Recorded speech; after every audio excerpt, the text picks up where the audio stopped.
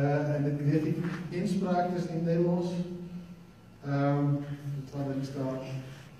En, uh, uh, um, uh, dit is een beetje grappig. Inspraak.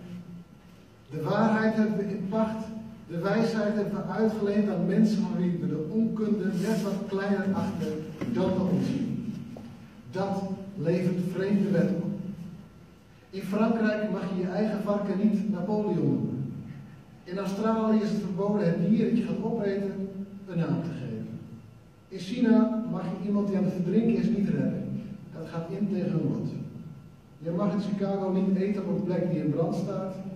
In Nederland is het verboden een inbreker op te sluiten op het toilet. En blijft je schoonmoeder na de scheiding voor eeuwig je schoonmoeder. Ook al heb je er weer. Er schuilt grotere schoonheid in de wet. En nog grotere directe democratie. Dus kom in opstand, volk dat buigen vreemd is. Ontwaak en houd u krachtig. Eis naast de kamers en lobby's je eigen plein van inspraak. Dan kunnen we samen bij een fikkerpandje Napoleon geven. En onze schoonmoeders redden van verdrinking. Om hen vervolgens te kunnen opsluiten met een inbreker op het toilet.